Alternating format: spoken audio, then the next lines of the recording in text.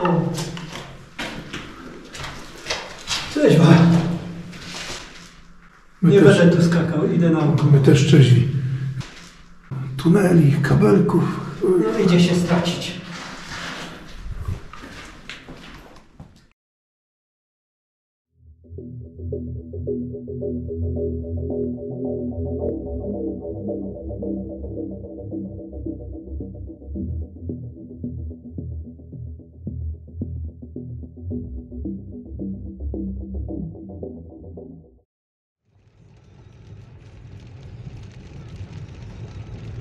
Zobaczcie, jak my się dla Was poświęcamy. Jaka pogoda, jaka droga.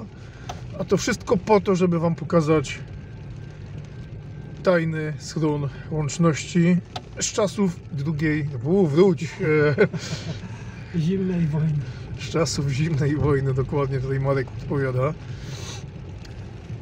który się popularnie nazywa Rokada, ale resztę za chwilę. Jak dojedziemy. Jak to wiecie? Ała. Reduktor dwójka ogień, panie Marku. Za 200 metrów miejsce docelowe będzie po lewej stronie.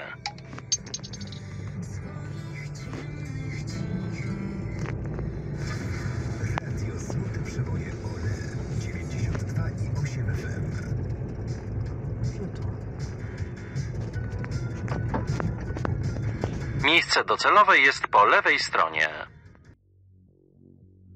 Rokada to system tajnych schronów łączności, które w czasie konfliktu zbrojnego miały zapewnić stały dostęp łączności z całym krajem, głównie pomiędzy jednostkami wojskowymi i rządem.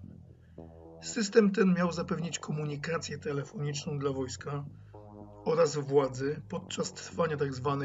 zimnej wojny na wypadek wybuchu wojny nuklearnej, czyli III wojny światowej. Rokada była najlepiej strzeżoną tajemnicą państwową z okresu zimnej wojny. Takich obiektów jak ten było w Polsce około 200. Zaraz wejście do kominka jest. Dobra, słuchajcie, jesteśmy. A że jest to obiekt ściśle tajny, to mówimy szeptem.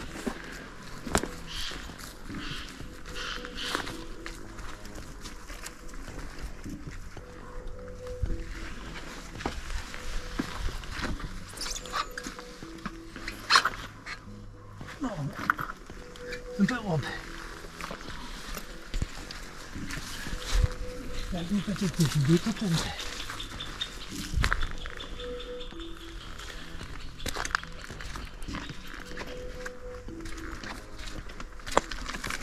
Tutaj chyba były, słuchajcie, metalowe okiennice, drzwi zaspachane.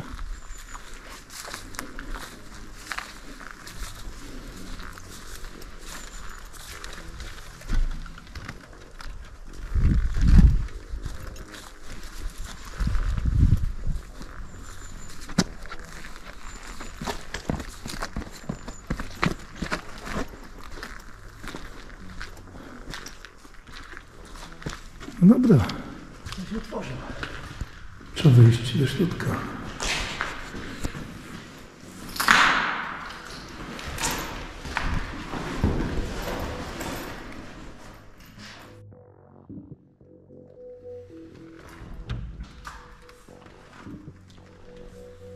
Górne piętro tego budynku to typowe pomieszczenia biurowe. Zamurowane okna, kraty, kupę szkła. Mamy nadzieję, że dół będzie ciekawszy.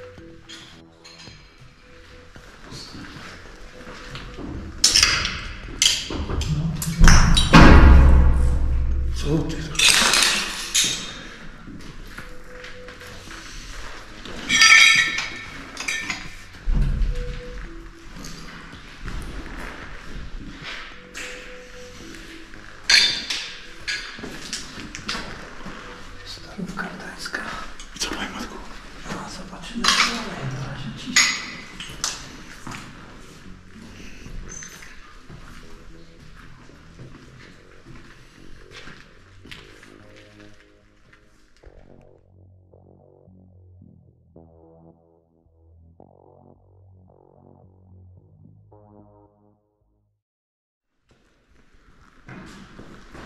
Podobno to, co najciekawsze w tym budynku,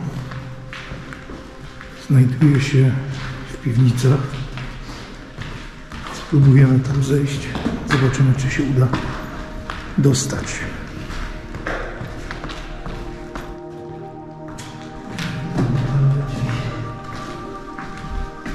Spójrzcie, filtr z wentylacji, stalowe drzwi.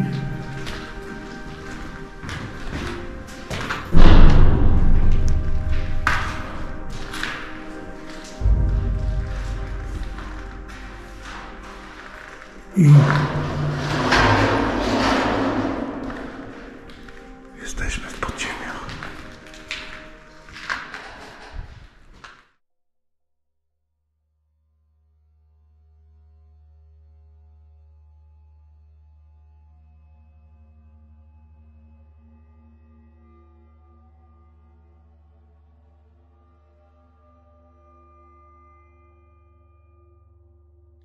Jak się okazało, podziemia okazały się o wiele ciekawsze. Labirynt korytarzy poprzecinany stalowymi futrynami nieistniejących już stalowych drzwi, szczątki instalacji elektrycznych, szczątki instalacji teletechnicznych, komora filtrowentylacyjna już częściowo rozebrana, kotłownia.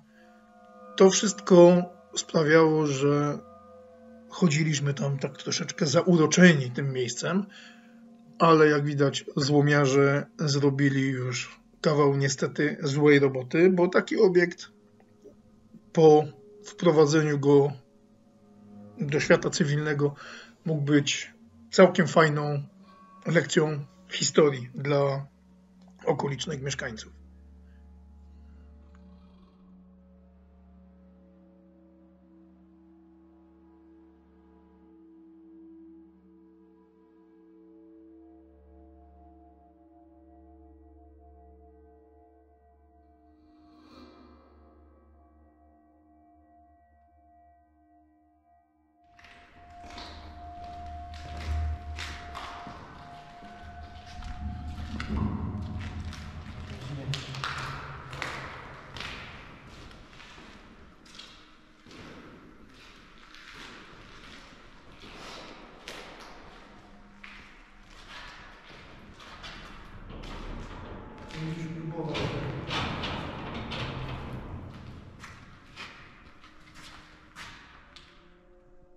Nie widziałem. No widzi.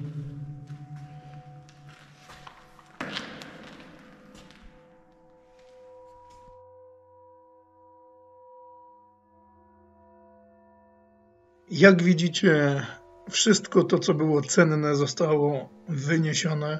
Wszystko to, co metalowe, bądź prawie wszystko, zostało już wytargane. Co prawda, pozostało jeszcze parę metalowych elementów w tym budynku, ale przypuszczam, że jest to kwestia kilku miesięcy i budynek będzie się nadawał do wyburzenia. A szkoda, bo naprawdę jest to bardzo fajne miejsce. Aha, a to co widzicie w szóstej minucie, te niebieskie takie kamyczki, kropeczki i tak dalej, no to to jest siarczan miedzi. To tak dla waszej informacji.